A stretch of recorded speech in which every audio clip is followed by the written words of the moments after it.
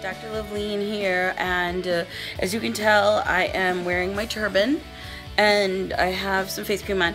So I'm gonna get a dermaplane today. So we're gonna, I'm gonna show you a little bit of dermaplaning. I'm gonna do a, a, a light chemical peel on my um, skin and we'll end with some hydration because I really need it. I've been sick and it's showing on my face.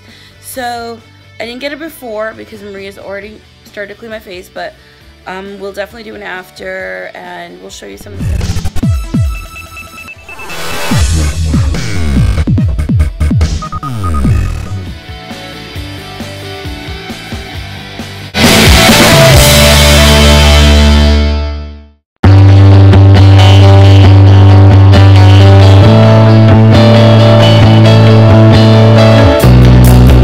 Maria, and she's um, she's gonna do my dermaplaning, and uh, she's got the hiccups today. But all right, guys, we're all human, and the great thing about YouTube videos is we can be natural. We're gonna do a little snip, a little snippet here and there, and show you what our procedures are like. Um, I uh, right now Maria's just using some cleanser on my face. Oh, it's a glycolic uh, based cleanser, which is uh, a little teeny bit of a peel. Uh, it has a teeny little bit of an exfoliative effect.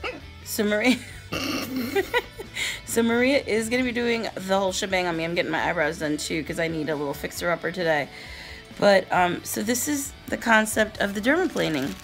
It is basically a sharp edge that exfoliates the top layer of skin. Exfoliates the top layer of skin and it removes the tiny hairs on our face, the vellus hairs, which primes the skin for the next step in the process, which is going to be at some point she's going to give me a chemical peel.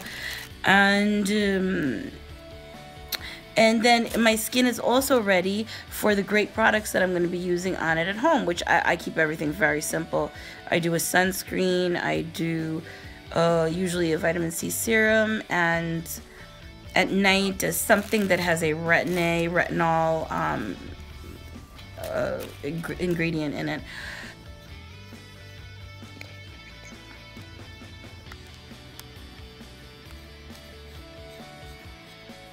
Okay guys, so uh, we are done with the dermaplaning. She has defuzzed me. She's worked on my eyebrows. Um, right now, um, Maria applied toner and we are ready to do our power peel, which is an exfoliative treatment. Um, it's gentle for darker skin brightener. So, so guys, my chemical peel, my skin brightening peel has been completed. I'm turning a little red. Uh, Maria asked me on a scale of 1 to 10 how I feel. I'm probably a 4 to 5. She did offer me a fan if I'm uncomfortable, so just be aware of these things.